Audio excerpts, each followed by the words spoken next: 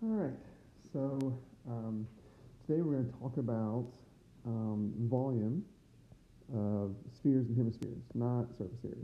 We've already done surface area. Um, a quick little lesson today. Uh, volumes of spheres and hemispheres are uh, pretty simple, um, and so we'll jump right into it.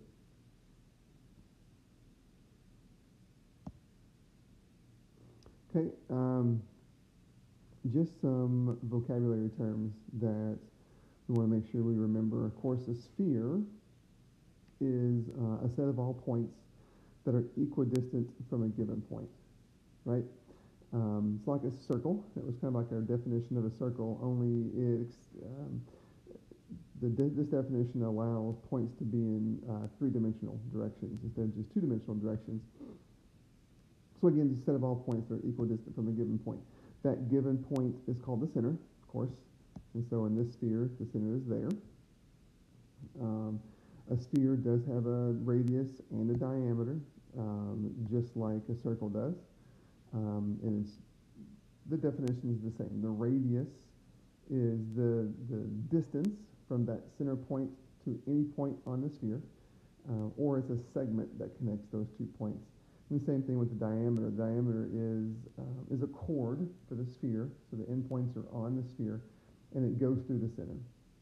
Or it's the distance through the center uh, between two points on the sphere, right?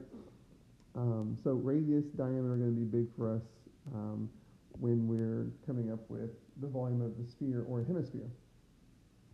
So volume of a sphere. So we're moving away from covering this ball with wrapping paper or paint and moving to what we talked about last time, which is filling the sphere with uh, a liquid, water, paint, whatever.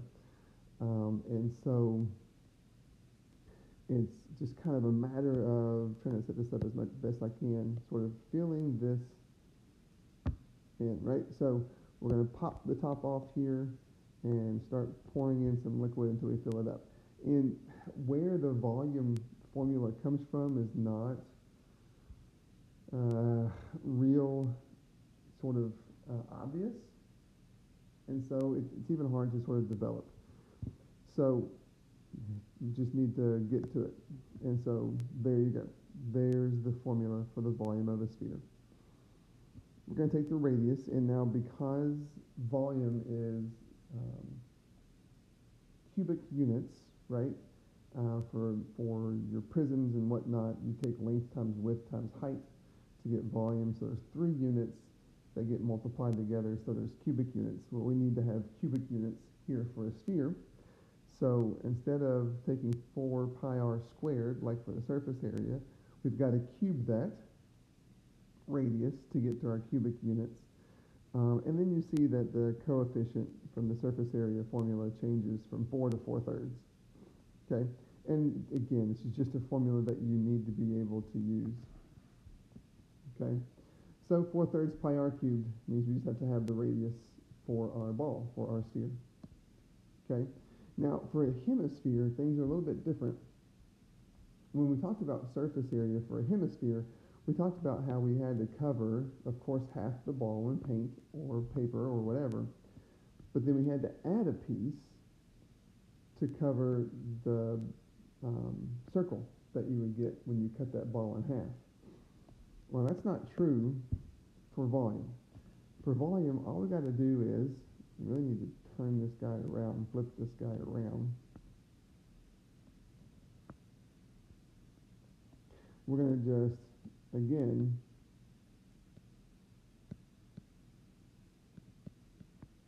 fill this uh, bowl or half bowl with water. And once the water level gets up to here, you're done. So you don't have to worry about covering a, a circle or anything like that. So hopefully that makes enough sense that all we have to do to go from a sphere to a hemisphere is divide all of this by 2 or multiply by a half, which means that I just multiply the 4 thirds times 1 half.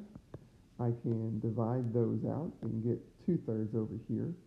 So what all that means is the volume for, uh, formula for hemisphere just turns into two-thirds pi r cubed, right? And so we dive in using those two formulas.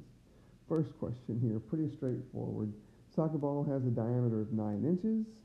Find its volume. Well, since the diameter is 9 inches, that means the radius is going to be 4.5 inches. Since we want to know the volume, we've got to pull the volume formula.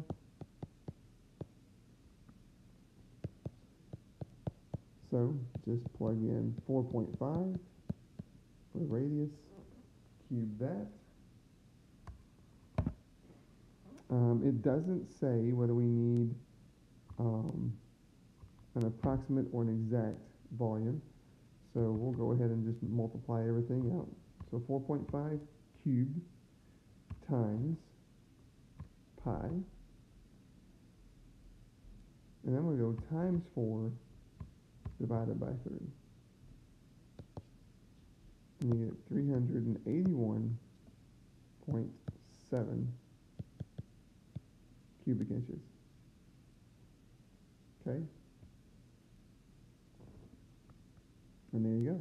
Uh, if you're looking for an exact answer, of course, all you got to do is cube that 3, multiply by 4, sorry, cube that 4.5, multiply by 4, and then divide by that 3, and you're looking at 121.5, then you got to leave the pi in there.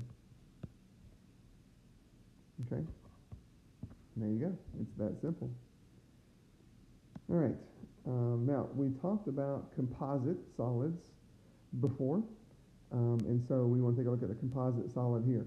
Um, standardized testing is pretty good about um, throwing composite solids at you to have you find volume or surface area.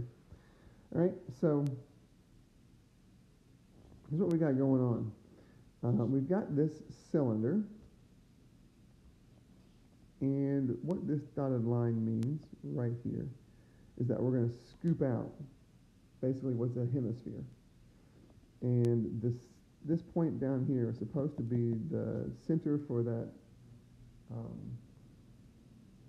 for the circle at the bottom of that cylinder, as well as um, a point on the hemisphere.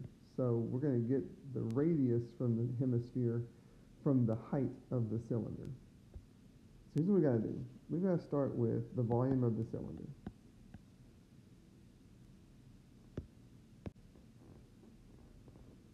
Okay, so from last um, section, last uh, last time, pi r squared gets us covering this uh, bottom circle of that cylinder with water, and then we multiply it by the height of the cylinder.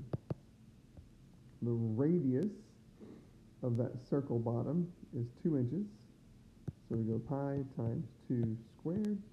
The height is 2 inches, so times 2. 2 squared is 4, times 2 is 8. We get 8 pi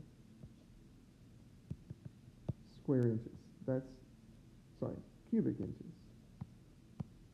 And that's your volume of that cylinder. Now, we need the volume of that hemisphere.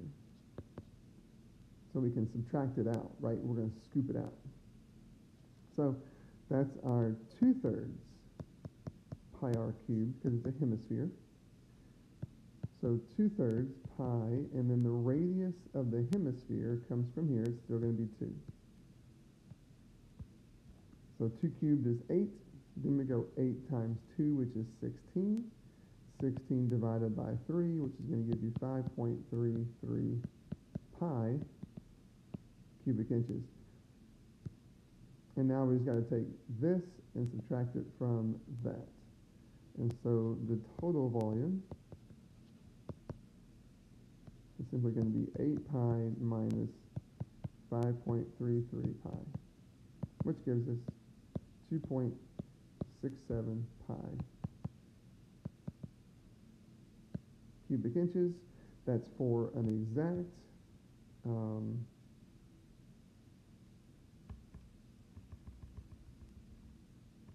if you're looking for an approximate, then we'd want to multiply that pi out and get 8.38 cubic inches. Okay? And there you go. There's an example of a, a sphere and using a hemisphere for um, volume. So uh, I'll turn you loose on your homework. Have that done by next time.